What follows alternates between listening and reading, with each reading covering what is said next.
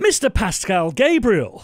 How are you Hello. doing, sir? I'm good, thank you. And, and you're down in uh, down in France. yeah, yeah, I'm working on the second album. It's coming along quite nicely. So this is for the Stubbleman uh, project, which is you, yeah, you, like a- you kind of cu- coming out of the box, but still being like a one man band. Yeah, exactly. This whole second album is about the, basically the move on to, and and uh, it's very windy mountain. So a lot of the instrumentation is all kind of wind based. So I, I thought I'd get a shruti box. I never had one before.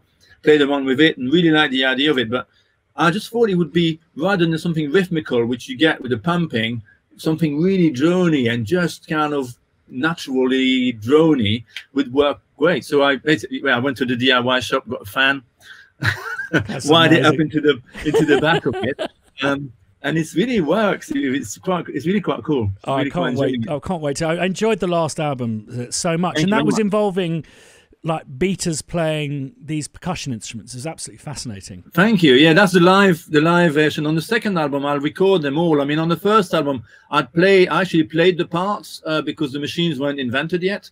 Um, I kind of invented them basically for the second album uh, and for live. Um, um, mainly for live to start with, and then I thought, well, I've got them now, might as well record with them, you know. So then they work very well. It's kind of feels a bit like having a band of percussion players playing with me in the studio when I improvise and try some ideas. You know, I just basically get the set of chords going with them and play with them, sort of thing. the reason I'm so obsessed with bass drums is because I think, you know, snares and hi hats are, are slightly more transferable. You don't have to worry about how these are going to respond on different speakers, whether it be an iPhone to, a, to a nightclub. Every time I need like a, a hip hop kick, it's the sound I've used for maybe 15 years because I mm. know it translates. Is that something you've found too? Yeah, of course. Yeah, I mean, I've only got really one bass drum sound, and, and I mean, that's it. You know, I've used it for 35 years. I couldn't use it before samplers were invented, but as soon as samplers were invented, I basically caught on on the idea that, you know, I needed a sine wave, which is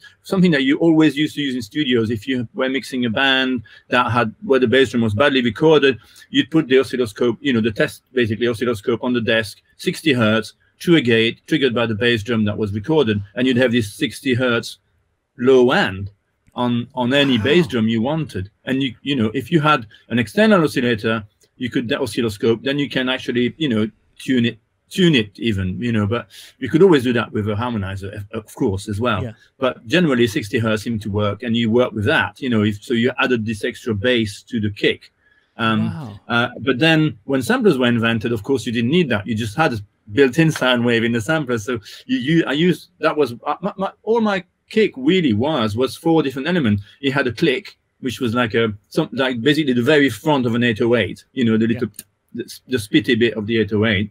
It had a sine wave, and then he had a bit of um, TR909 uh, like bass drum, the kind of middly bits of the 909 and he had an organic bass drum, which I can't remember where it came from. Maybe it was the Inspiral Carpets or something like that.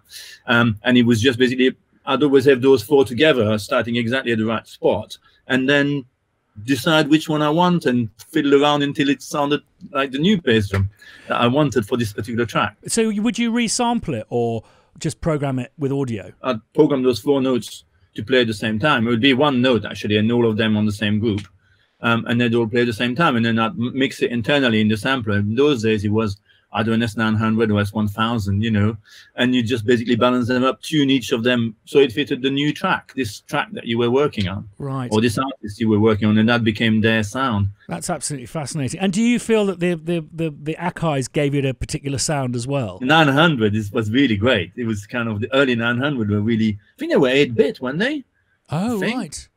eight or twelve bits. I I don't think they were they were they weren't particularly great hi-fi thing, especially in the way I worked, because at the time you had so much sampling stuff going on that even if you had 4S900, which is what we had when we did S'Express and Bomb the Bass, we the studio had one, I had one, and we had two more, and we had four discs full of you know the, all four machines were full.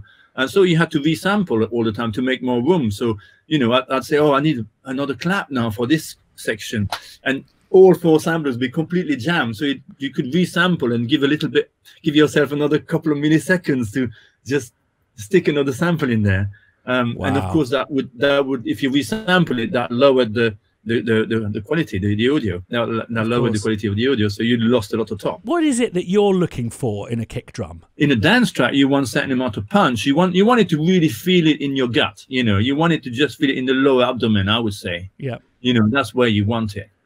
Um, but then you want also the roundness to move your butt as well. So it's kind of a bit of both. It's a bit of a punch and a kind of round bum bum sort of thing you know that really that really makes you so it hits you here and it makes you kind of want to you know stick your bum out and have a dance i've always been aware of drummers tuning their tom toms but what i've not been aware of is engineers and particularly remix engineers tuning the drums to the track is that something that you're aware mm. of as well it's down to ear you know it's down to what you feel like when you do it um i don't think there's any formula for in terms of tuning sometimes tuning sounds good sometimes it doesn't it's just a kind of trial and error thing yeah, I think so. Yeah, I don't think there's any formula of like, yes, I always tune my bass drum to you know the the fundamental of the track, or yes, I I, I never bother. No, I never bother. You know, I, there's a bit of both. I think. You know, in the 80s, early 80s, way before samplers were you know were used, uh, we just used to use the 60 hertz from the desk and just give it a bit of bottom, you know.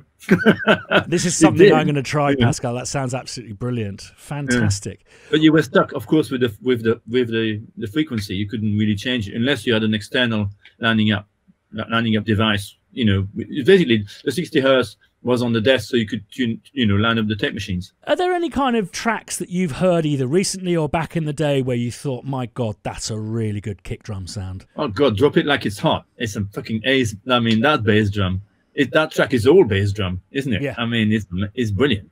Yeah. That's that to me. That is like the best bass drum ever. It's so fantastic. There's no notes, you know. That well, there's a note, but there's no bass line. It's just that do do do do. You know, it's yeah. it's brilliant. Yeah. The way record. Brilliant stuff, Pascal. Well, listen, thanks so much for coming My to pleasure. talk about something so meta. Um, where where can we find out more about Stubbleman? On stubblemanmusic.com. You'll find all about it on that. I'm also Stubbleman Music on Instagram, on Twitter, and on Facebook.